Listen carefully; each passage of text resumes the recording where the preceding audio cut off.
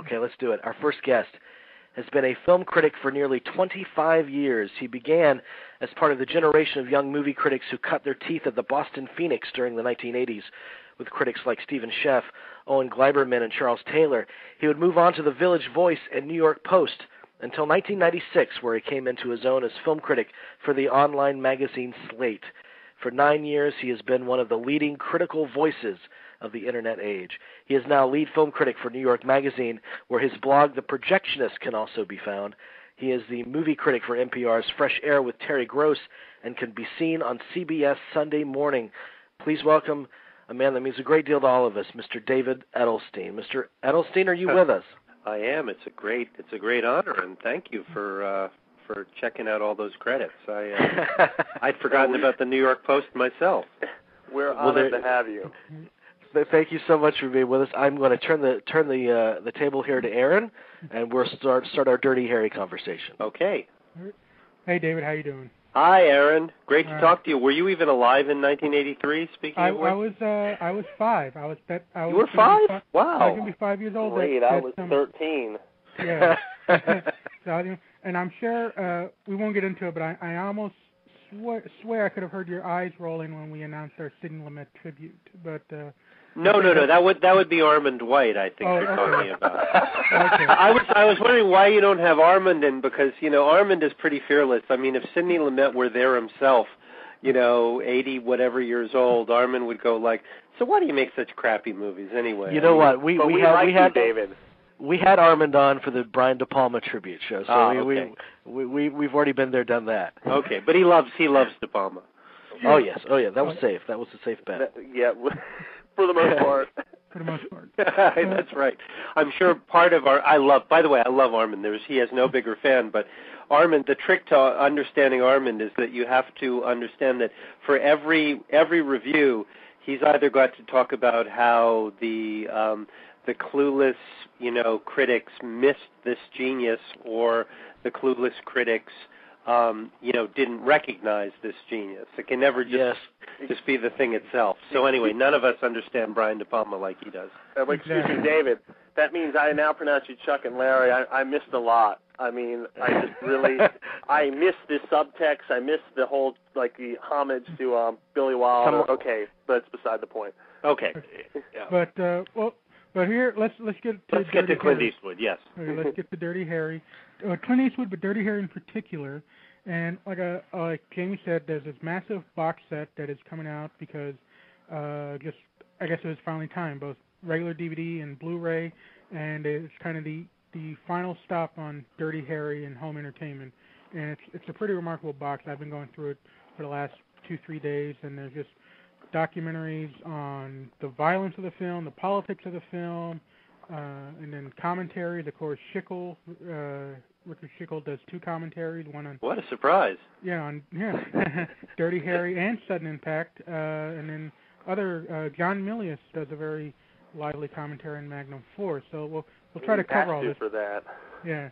Uh, so I got to. So let's let's start with the first Dirty Harry film. So David, uh, when did you first see Dirty Harry? The, the original? Oh, man, What was, uh, what was your original? What were your immediate reactions? to My immediate reaction, oh my, well, okay, I was born in 1959, and Mhm. Dirty Harry, I believe, came out the summer of 71, and I saw it. Now, if I were my dad and mom at the time, I would never in a million years bring, you know, bring, oh no, it might have been 72.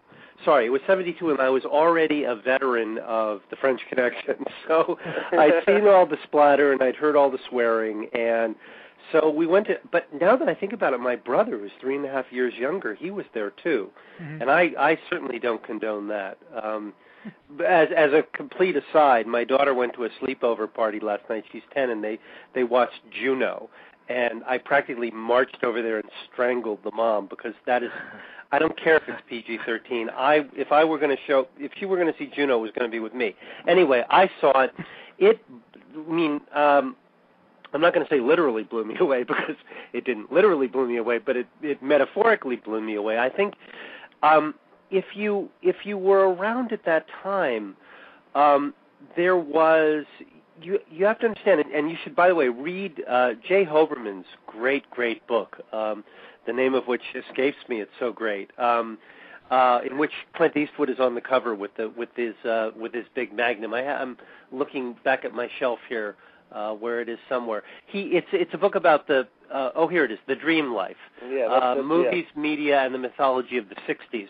Well, you have to understand that we're we're coming off uh, a um, a period in which uh, uh, easy there, there's Easy Rider, there's there's the counterculture is in full bloom by the time of 1971. But Nixon is in office, and Nixon has this law and order platform. And um, there had been Gimme Shelter, and everything had gone bad at Altamont, and we're st- and and oh, don't forget the Zodiac. Now, now this generation is up to date on what was happening in San Francisco.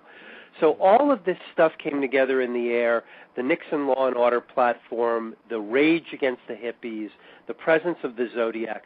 So they just decided that they were going to, and the Miranda laws were relatively new. They came about in, uh, I'm not a legal scholar, but I think it was 65 or 66.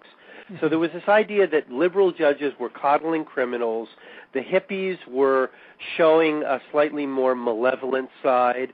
Um, Dirty Harry came and it was absolutely shocking, stunning. I mean, even those of us who liked hippies, who were sympathetic to the movement, just there was something about that that white male with his big mag, his big long magnum, saying, you know, my favorite line in the movie is when is when he's in this tunnel and this kid comes up and tries to mug him, and he says, "Oh, go away." Get get the hell out of here! And the kid was like, "Come on, give me your give me your wallet." And then he pulls out this giant gun and says, "You don't listen, do you, asshole?" And that's my favorite line. I think Right. Milius wrote that line. That's Yes, forget did. forget the uh, the you know six shots or five.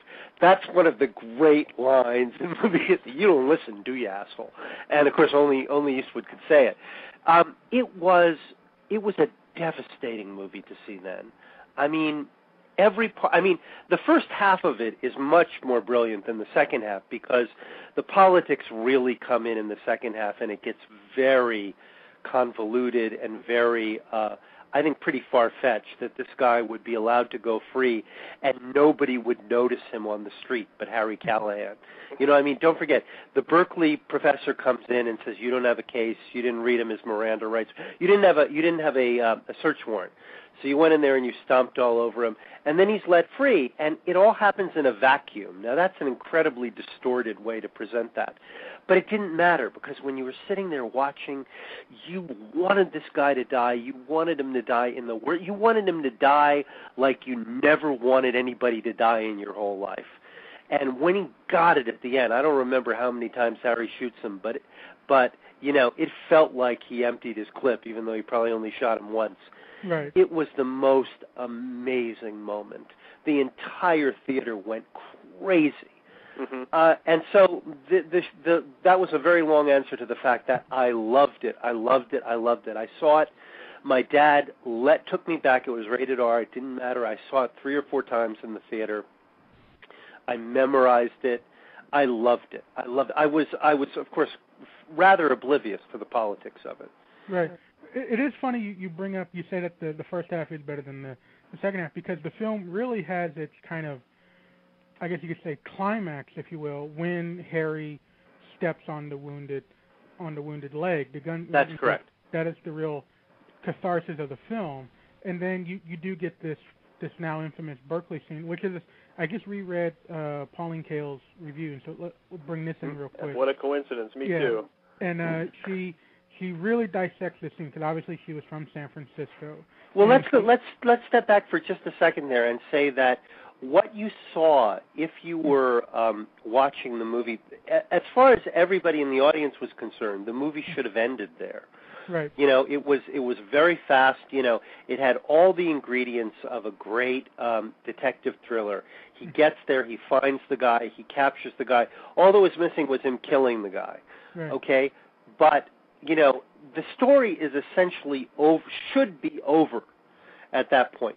And who is going to get in the way of that story being over? Well, who else? A Berkeley professor. Right.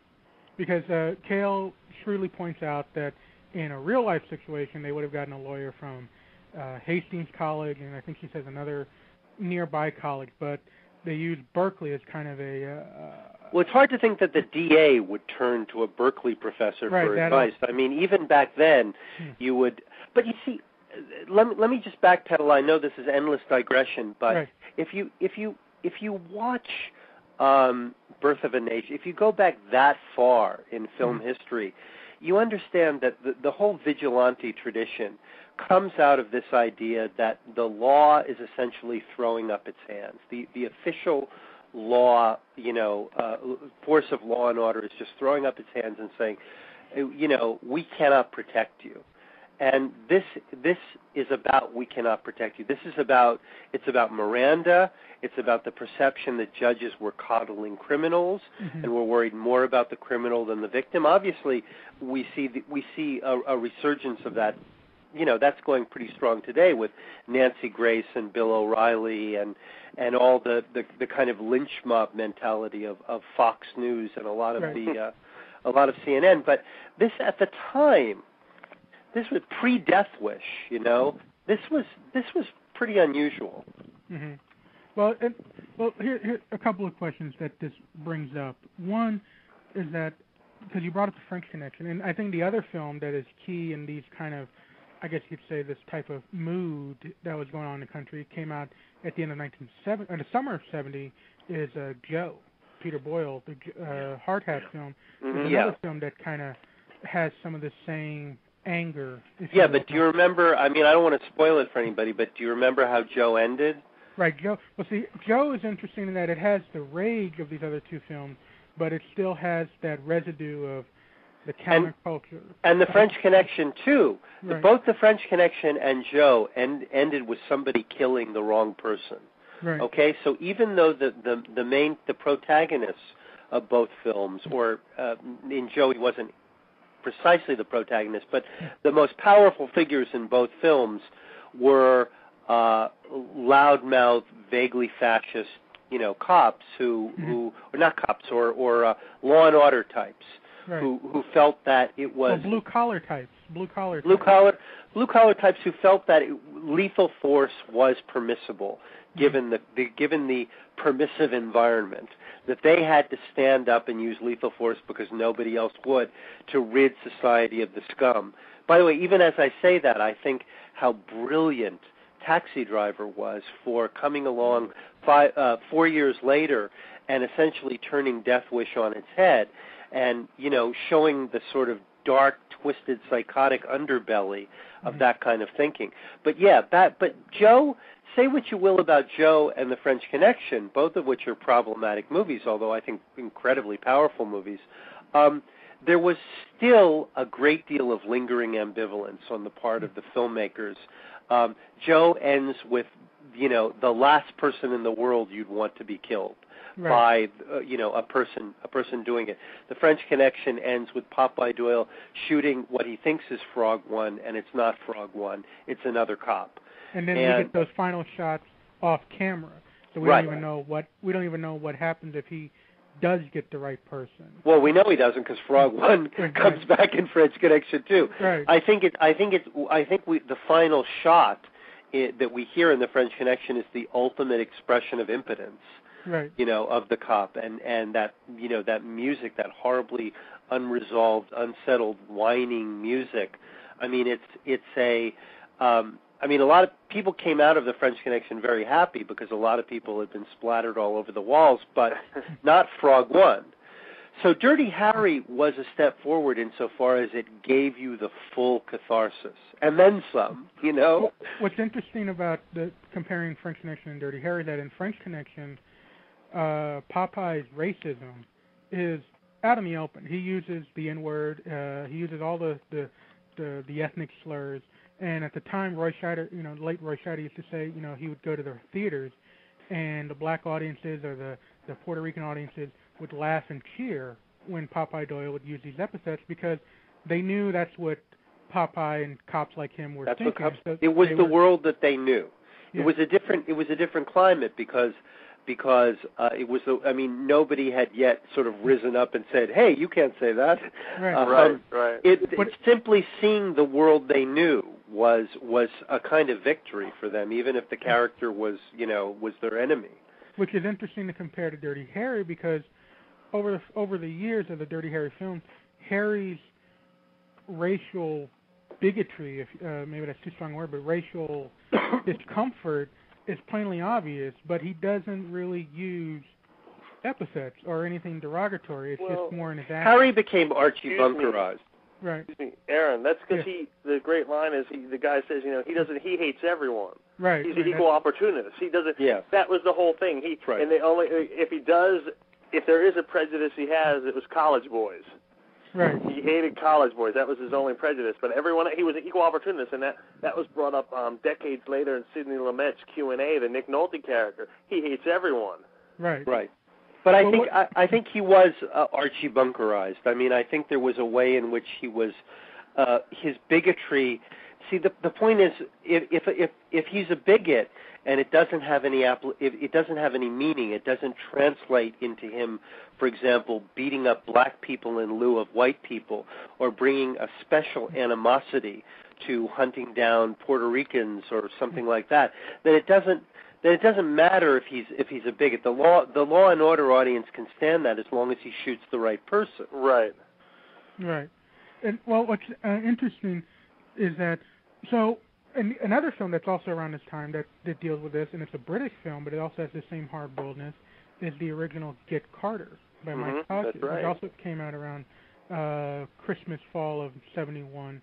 So it really seemed to be almost no one was uh was able to bring it all together, but it seemed that this unease was really just a natural extension of of the times. But I'm curious. Well, it was a natural. It was it was a backlash against against the '60s. You have to understand, culture. It, it's such a pendular thing. The '70s, on one hand, represented this period of where every all the freedoms that were won in the '60s sort of came came to fruition. You know, drug use, um, Right. sexual freedoms, uh, feminism really came into its own in the 70s. But alongside it came this powerful backlash, which eventually would manifest itself in, in the so-called Reagan Revolution, or at least get its support, draw its support from the backlash. But we w- we were seeing just the very very beginnings of that, of of, of that kind of thing, and the vigil the explosion. Look, there are other vigilante movies, but not very many of them. There was, I mean, there was that. Um, what's wrong with me? The the Glenn Ford uh, Fritz Lang movie. Um, oh, uh, the Big Heat. The Big The Heat. Big Right. Heat. Okay. Yeah. I mean, The Big Heat is a pretty much straight up vigilante movie insofar as you know his wife is murdered and he takes the law into his own hands and it's it's you know but those those kinds of movies were relatively rare back then usually the protagonists worked worked within the law mhm. you know even if they they they had to fight the law if even if there was resistance they weren't they didn't go outside the law. They didn't they didn't you know disobey their commanding officers to the extent that Harry would ultimately do. And I think Jim Hoberman you know was very brilliant in perceiving um one of the strengths of Dirty Harry is that it fused this kind of outlaw mythology with a right wing reactionary mythology. Mhm. Harry Harry became the maverick, the the outlaw maverick, you know, who Mhm. he was hip. Harry was Harry was he was a, a, a very glamorous figure. He was very hip, and and he was far more hip than the than the hippie that he was uh, that he was going after. He was so much more hip. He was so much more masculine. You notice how how Andy Robinson gave this, that guy a sort of feminine laugh. Yes, he Well, He, did. wo- he my- wore a he wore a peace symbol on his belt, and he had His this belt feminine was an laugh. obvious, obvious symbol right Yeah. there. And, Yeah. and but the feminine laugh, I think, was far more significant than the Mhm. peace You're, than the you're peace right, symbol. David. And then also the the the great uh, you know the the real wink wink line. He goes, "My, what a big gun uh, you have!" At one point, when Right, he, right. when he's beat, beating him up, and it it.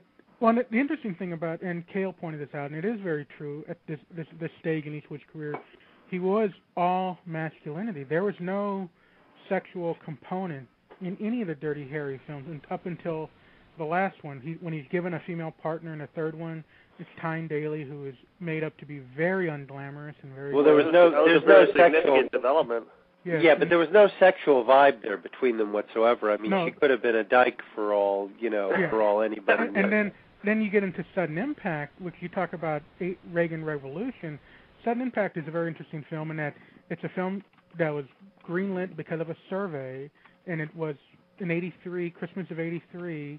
So it's at the peak. Uh, we're really getting into this Reagan groove, and Right. it seemed to strip away any serious pretense of earlier Dirty Harry films and just took it to its barest essence, to where Mhm. it even gave him a female doppelganger, if you will. Well, the. Dirt, Dirt, Sudden Impact was a cartoon. I mean, we were we're looking at when we're talking when we jump from Sudden Impact to Dirty Harry. Uh, I mean, from Dirty Harry to Sudden Impact. That is a huge leap stylistically. I mean, uh, it's not just that Eastwood directed it; took over from Don Siegel, and Eastwood was nowhere near the director that he is now at the time. But Sudden Impact was very much conceived as a cartoon and functioned, uh, you know, on on I think an even cruder level than Dirty Harry. Well, what's interesting, the, the way I looked at uh, Sudden Impact is that the warnings that particularly Kael gave about Dirty Harry and French Connection, the "jolts for jocks" line that she that she coined in her French Connection review, is that Sudden Impact is really that film that she was warning us about, more so than Dirty Harry. Dirty Sudden Impact is really the film that's just all sensation and just the slimmest pretense of a of a. Well, of course, by then, by then, movies had had become that. I mean, Right. uh, when she was writing uh, that review of the French Connection, I mean, that was a very uh, prescient review that she wrote in seventy in seventy one. One of one of her one of her greatest, I think, um, in which she said that uh, she she feared that movies would devolve into jolts for jocks, and it was really. It didn't happen in the next few years, but it did happen in the 80s. It did Yeah. happen in the 80s, and and certainly I think it's the case now. I mean, it's hard to believe that anybody could. I mean, it's sort of like hearing uh, Eisenhower complain about, you know, warn us about the military-industrial complex. Was there ever a time when the military-industrial complex wasn't, you know, making all our foreign policy decisions? I mean, Right. maybe maybe that was true. Uh, You think was there ever a time movies weren't jolts for jocks? Well, yes, I guess. Once upon a time, that idea was was truly horrific. You know. Excuse me, David. Yeah. I have a question. What- Didn't you think by the time that Eastwood did take over the directing reins of Sudden Impact, and especially with the Dead Pool, I don't I don't remember that one that well, but don't you think you already knew that it, it had become a cartoon? Well, Buddy Van Horn did the Dead Pool. Yeah, Um, but don't which- you think though by the time yeah. the Sudden Impact, it, it, he even even he knew it was a cartoon? Yeah, he did, and and he he did, and he, I think he brought that to. I mean, he deliberately over he he overheated everything. He didn't. He really he barely brought a trace of realism to that. To that. Even even they knew in the script reading that the line "Make My Day" was going to become the catchphrase. They knew that from the moment they saw the script. Well, Make My be- Day Make My Day wasn't really original to that movie. No. Um, I mean, I actually I'm not sure about this, but I distinct, distinctly remember seeing a real sicko little movie called Vice Squad. Oh, um, wonderful. back oh in the day yeah, with, Vice uh, Squad, yeah. And as I Wings Hauser. recall, remember Wings Hauser? yeah. Right. I've been look. By the way, I, if anybody there knows where I can get um, uh, the song that he sings over the closing credits called "The Neon Slime," I am desperate to the Wings Hauser. But I distinctly remember the the bad cop. I can't remember the name of the actors. You know, One, No, I telling- remember Vice Squad. I telling him to, you know, go ahead, you know, come on, come on, come on, you know, take it, take it, come on, come on, make my day, make me kill you, make my day. But I mean, I, I don't. So I, I don't think that was even the first time. But but what Eastwood did was he slowed it down. He would go ahead, make my day, you Right. know, and and it was repeated a number of times, and it became a. and the president used it. Yeah, I mean, it, it was it was on the same level as Rambo. I mean, the president invoked it in the same way that he invoked Rambo at a certain point. You know, it really was sort of cartoon, Mhm. meathead, macho, m- macho intimidation. Yeah. I mean, What- I, I what- yeah. What, what, what is interesting to note about Sudden Impact coming out at the end of '83, and that is the cartoon that Eastwood felt obliged to do, is that he countered that with something a little more thoughtful in the summer of '84 with Tightrope, which is A much better film. a much better film. Uh, at least a very a more interesting, thoughtful film where it's kind of the counterbalance, because it also has very weird sexual politics that Sudden Impact doesn't take seriously, but Tightrope at least attempts to try to. Uh, I mean, in attempts. When I saw Tightrope, I, I was sort of thinking, what's the, what's the fuss about? I mean, Eastwood has made some great films. The Outlaw Josey Wales is a great film, but Mhm. I mean, uh, I mean, well, I guess he didn't direct Tightrope, but but Tightrope made gestures in the direction of the idea that the cop could have these sort of twist, uh, sort of twisted psychosexual life that would make him equally as plausible to be the. I mean, the thing. I mean, I assume you, we're going to talk about Magnum Force. Uh, Mhm. You know, the the very same idea in Magnum Force, which is that sort of tease that you know, is Harry Callahan the one who's doing this? You know, is this guy? Is this some force unleashed from his id that's going around killing all these women? I don't think it's really very satisfyingly worked out either in obviously in Magnum Force and not in Tightrope either. But it showed you that Eastwood was maturing or at least he felt he should mature. I don't know if he was maturing, but he felt, you know, Richard Schickel thinks he was maturing, but Right. I, I you know, and and bless Richard Schickel. I love the guy, but you know, he's he's he's one of these he, he's a uh, an acolyte through and through and um in terms of Eastwood. God, you know, he's so brilliant. He's so much smarter with everybody else but Eastwood. Um but when it comes to Eastwood. But you know, I, I mean, he Eastwood clearly uh, you know, at a certain point was want, wanting to be taken much more seriously as a director, as an artist, and was beginning to introduce dissonances, introduce darker elements. He was flirting. I mean, it really wouldn't be until Unforgiven that he would he would really begin to flirt with the idea that you know maybe there was something wrong with with vigilantism and with pulling the trigger and even then i think i think unforgiven is somewhat overrated as an anti-vigilante You movie. think it's Mystic River that goes to that point, if I'm not well, mistaken. Mystic Mystic River does, but Mystic Mystic River, of course, is comes completely from the mind of Dennis Lehane. It's oh, not, of course. I, Uh, yeah, but I wouldn't. Everybody's always saying, well, and in Mystic River, Eastwood did, you know. But the thing is that Eastwood just, you know, shot the script, Right, and, right. and based on the novel, and didn't depart from it. But he was attracted to that. Yes, he was attracted to that material. Well, he uh, wanted to make an anti an anti vigilante movie in a sense. because well- you feel the third act of Unforgiven, it, it goes back to the Dirty Harry school. Yeah, how do you know that? How do you know that? How do I know that? Did I write that somewhere? You did write that. You wrote that in 2003 when you were ta- in the New York Times. Um, Oh my God. yeah, dude, I- I follow you, baby. David, David, Wow. I'm your worst nightmare. We've been getting New York Magazine Oh, since the, fir- the first issue, and Oh, I've been oh, keeping God. up with you ever since you've been writing for New York Magazine, but also You- all the stuff for Slate. You Press are my worst nightmare because you know it's all self-contradictory. I'm sure. Oh, I will I send you. I I will am send large. you, I have- contain I've contradicted myself in the last two weeks. Okay. I will send you a picture of uh of Jerry so that way you can recognize them. When Okay, great. That's great. Yeah. well, but yeah, you know, I mean, Unforgiven. Unforgiven is a beautiful piece of work in a lot of ways, and it's a wonderful script. But in the end, you know, it's not exactly like you're in mourning for anybody in the saloon that he wastes. I yeah, mean, I mean, it's not. These are like you know, it's like, would you be in mourning for anyone in the Nuremberg trials? Of course not. You know, No, I mean, exactly, exactly. I mean, this is a. It, it, it, it's really not that much different from High Plains Drifter or from you know these these other films that many of which sort of were inspired that that Leone did, inspired by Yojimbo, in which you know who cares who dies? I mean, they're all just as Travis Bickle says, you know, flush him down the sewer, That's or right. whatever he says. I mean, there's a there's a sort of nihilistic component. It's not a. It doesn't it's not a, a sort of law and order, strict law and order, you know, virtue triumph. It's a nihilistic component, but it's still very much a kind of a right wing, you know, disgust with, you know, Oh, of Uh, course, of course it is. right. That that's what makes Magnum Force. I like Magnum Force because you know, you, like you said, is Callahan the one doing this? But he's like the lesser of the two evils. It's between that and Hal Holbrook's um, army, which has the guy from Animal House and David Soul in his army, which is um, I don't know how if I want to really back that horse or not.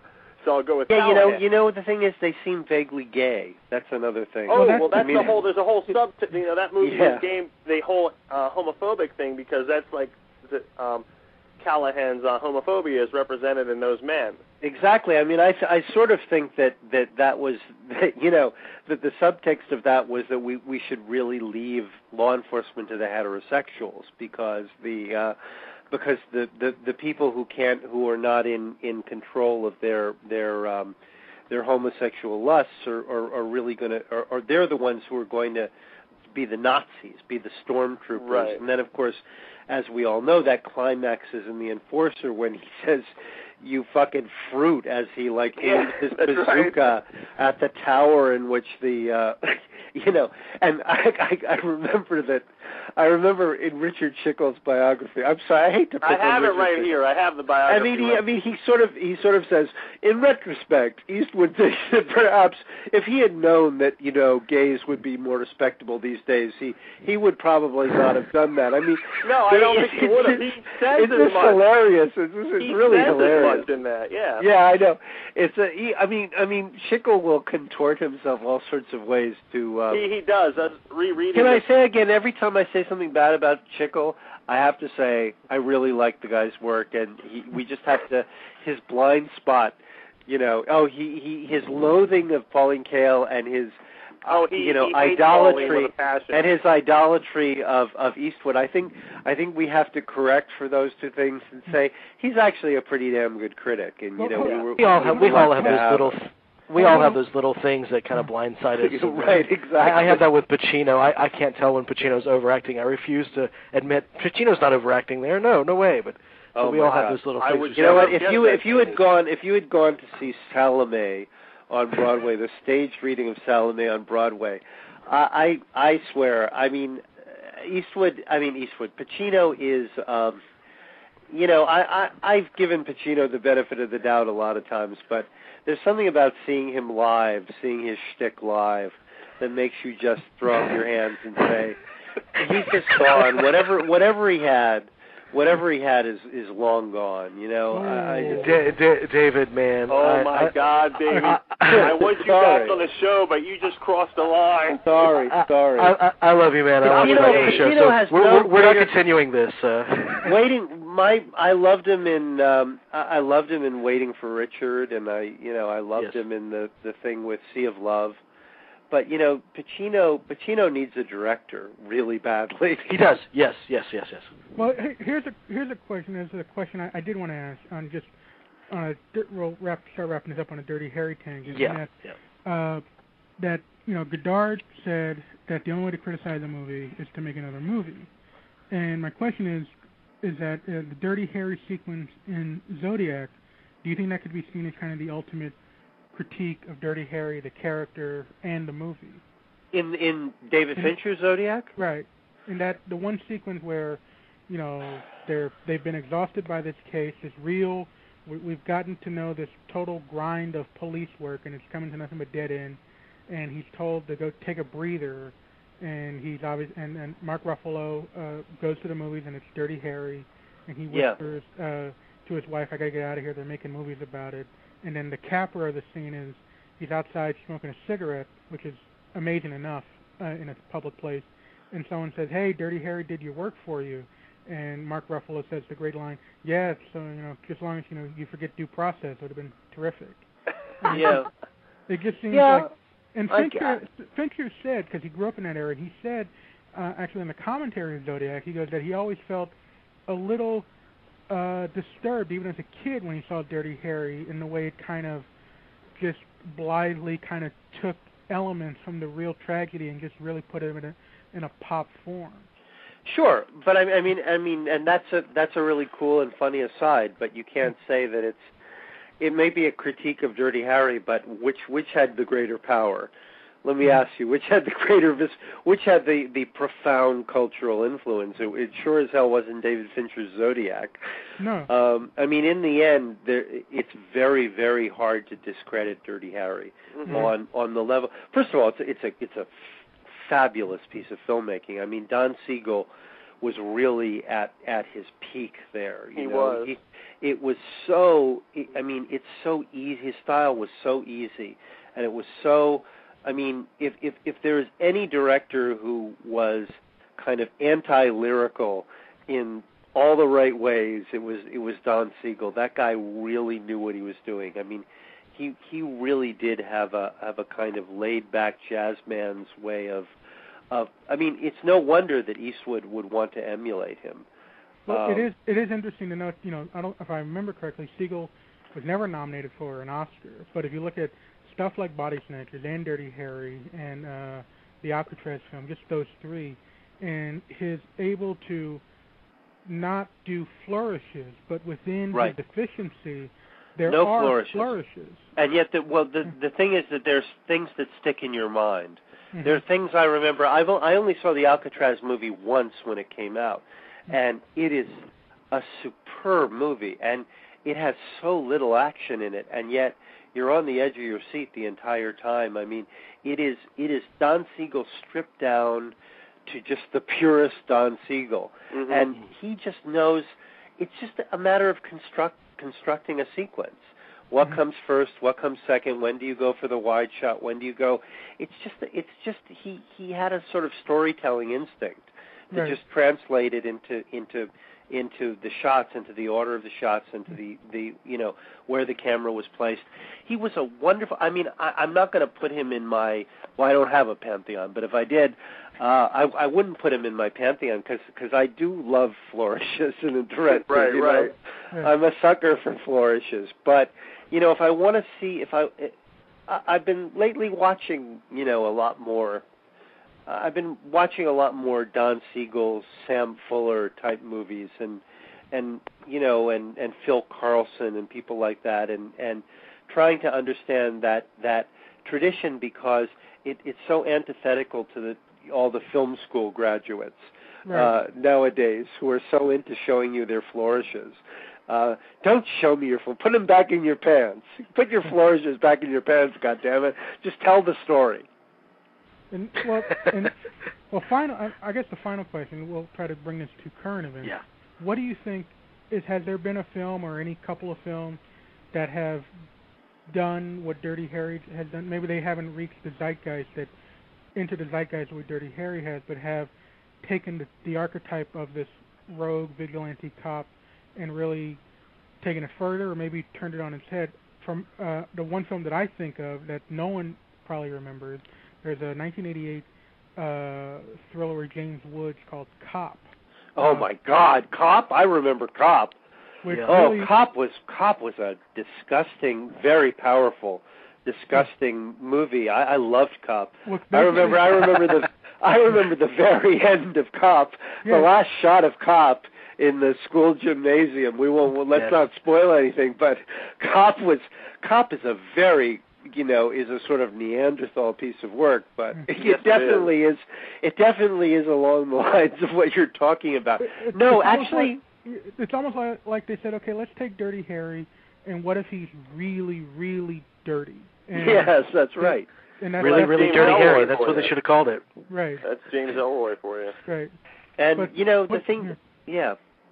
But what do you think? Is uh, uh, do you, I mean is cop or what? I guess the modern one is Training Day. A lot of people throw that out there, but I, don't- I don't. I don't really You hold see, that you see, I think I think actually that the new generation, it's very hard to do.